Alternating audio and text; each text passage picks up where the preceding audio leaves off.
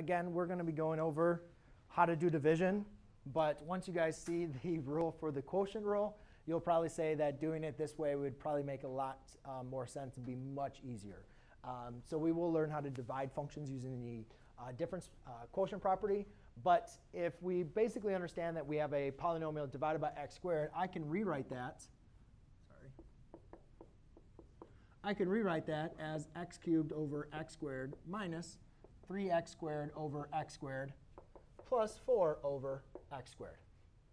Right? So I can rewrite it. And now I can just simplify that to x minus 3 plus 4 over x squared, which again I can rewrite again as x minus 3 plus 4x to the negative second power.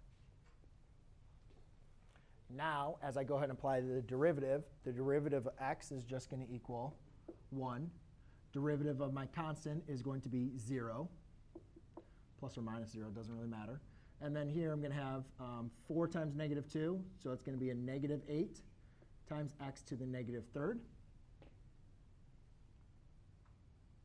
So therefore, I have 1 plus negative 8 divided by x to the positive third power.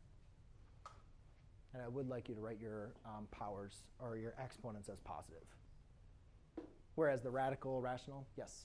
Um, I, I know you already did the product, but um, can you show us how to do it using the uh, chain rule? Uh, no, not today, um, because we are going